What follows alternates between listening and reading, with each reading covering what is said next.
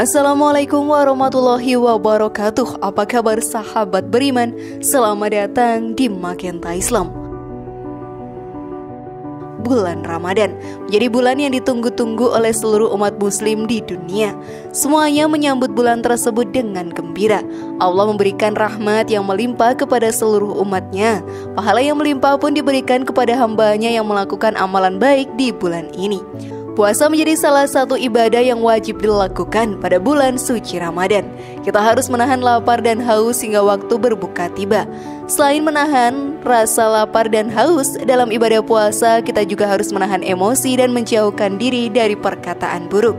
Hal tersebut dilakukan agar ibadah puasa diterima oleh Allah Ta'ala dan kita mendapatkan pahala yang semakin melimpah.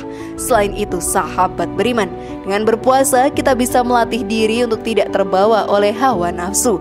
Bahkan banyak hikmah yang terdapat dari puasa di bulan Ramadan ini. Lalu apa sajakah hikmah yang tersimpan dalam puasa di bulan Ramadan itu sahabat beriman? Tonton video ini hingga akhir ya, agar kamu dapat memahami secara utuh dan tidak tersesat. Berikut Masya Allah. Inilah hikmah puasa Ramadan yang wajib kamu tahu versi dari Makenta Islam.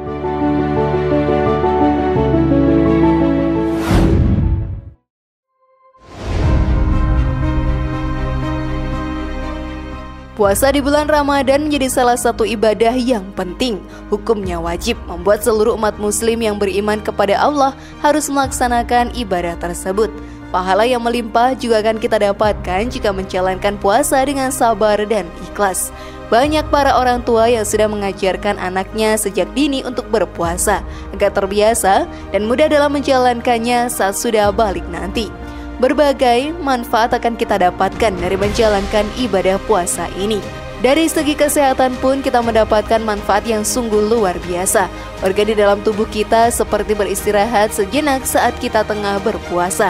Hal ini baik untuk organ kita yang telah bekerja terus tanpa henti. Di dalam setiap ibadah yang diperintahkan oleh Allah Subhanahu wa taala tersimpan hikmah yang begitu besarnya.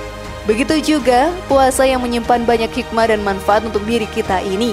Lalu apa saja keuntungan yang akan kita dapatkan jika menjalankan ibadah puasa di bulan Ramadan sahabat beriman dan apa saja hikmah di balik sebuah ibadah puasa? Kalian juga bertanya-tanya sekarang?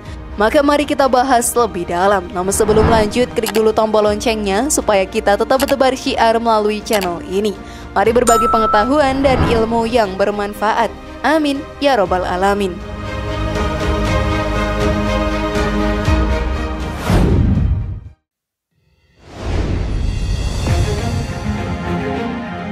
Melatih manusia untuk mempunyai sifat takut kepada Allah.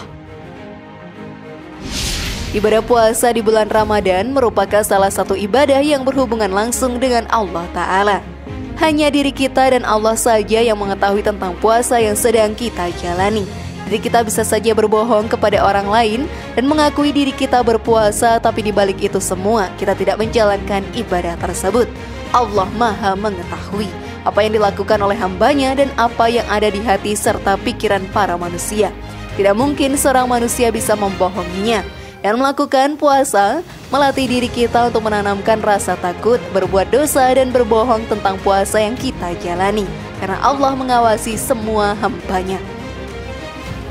Perintah untuk takut dan tunduk kepada Allah tertulis dalam Al-Quran.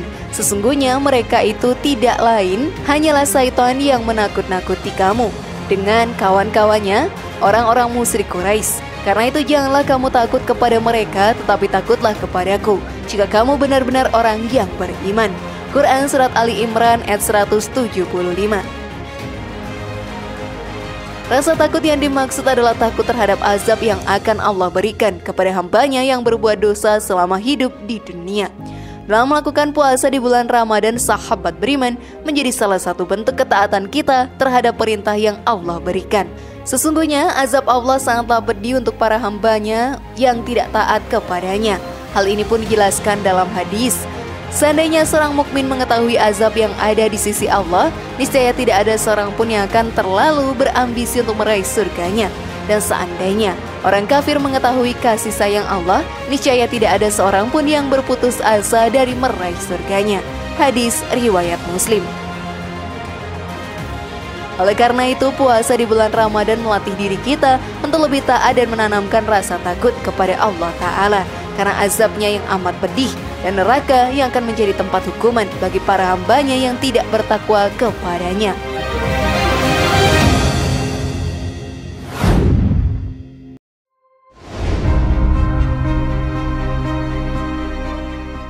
Dapat mengendalikan syahwat dan nafsu. Setiap manusia sahabat beriman mempunyai hawa nafsu dan syahwat yang ada dalam dirinya. Hal tersebut merupakan hal yang wajar. Diri kita harus bisa mengendalikannya dan jangan sampai terjadi sebaliknya. Jika diri kita dikendalikan oleh hawa nafsu, maka akan semakin jauh diri kita ini dari surga Allah Ta'ala. Berpuasa menjadi salah satu ibadah yang melatih kita untuk menahan hawa nafsu dan sahwat yang ada dalam diri kita semua.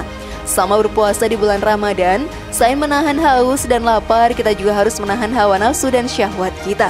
Tidak diperbolehkan untuk bersikap buruk sama berpuasa seperti marah-marah atau berkata yang tidak baik, karena akan menghilangkan pahala puasa kita. Jika diri kita dikendalikan oleh hawa nafsu dan syahwat, maka akan menjerumuskan kita ke dalam perbuatan dosa. Hal ini pun tertulis dalam Al-Quran. Janganlah kamu melampaui batas dengan cara yang tidak benar dalam agamamu. Dan janganlah kamu mengikuti hawa nafsu orang-orang sesat terdahulu. Mereka telah menyesatkan manusia dan mereka tersesat dari jalan yang lurus. Quran Surat Al-Ma'idah ayat 77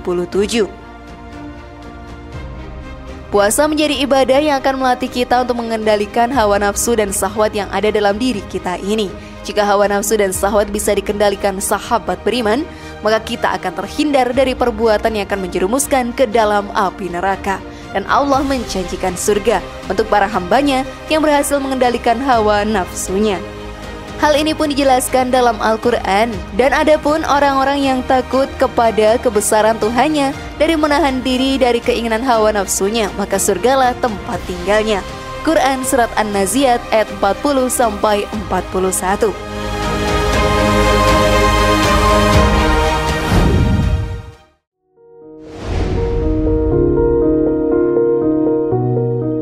Meningkatkan ketakwaan dan keimanan kepada Allah Subhanahu wa taala. Pada bulan Ramadan banyak orang yang berlomba-lomba dalam berbuat kebaikan dan beribadah kepada Allah Subhanahu wa taala. Puasa sendiri dapat meningkatkan ketakwaan kita terhadapnya. Perintah untuk menjalankan ibadah puasa di bulan Ramadan sendiri tertulis dalam Al-Quran. Hai orang-orang yang beriman, diwajibkan atas kamu berpuasa sebagaimana diwajibkan atas orang-orang sebelum kamu agar kamu bertakwa. Quran Surat Al-Baqarah ayat 183 dengan menjalankan perintah Allah, kita akan meningkatkan keimanan dan ketakwaan yang ada dalam diri kita ini.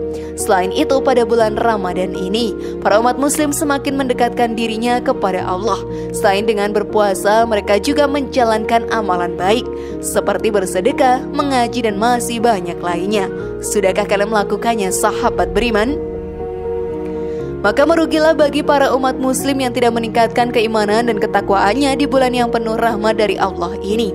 Selain itu azab Allah akan sangat pedih bagi para hambanya yang tidak taat dalam menjalankan ibadah puasa di bulan Ramadan. Allah Subhanahu wa taala sahabat beriman jika memberikan rahmat yang melimpah kepada hambanya yang bertakwa kepadanya. Hal ini tertulis dalam Al-Quran.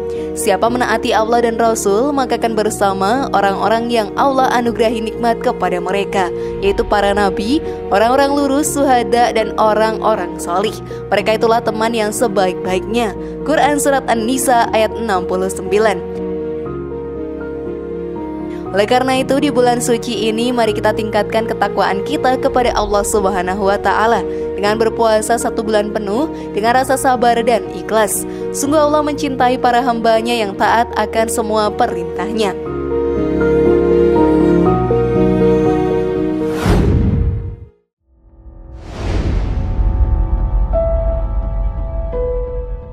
Bagaimana sahabat beriman? Sudah pahamkah kalian? Semoga informasi tadi bermanfaat ya dan buat kita berpikir lebih bijak. Sekali lagi mari membangun Magenta Islam ini dengan cara klik tombol subscribe, like, share, dan aktifkan tombol loncengnya. Wassalamualaikum warahmatullahi wabarakatuh. Dan jangan lupa tonton video yang lainnya.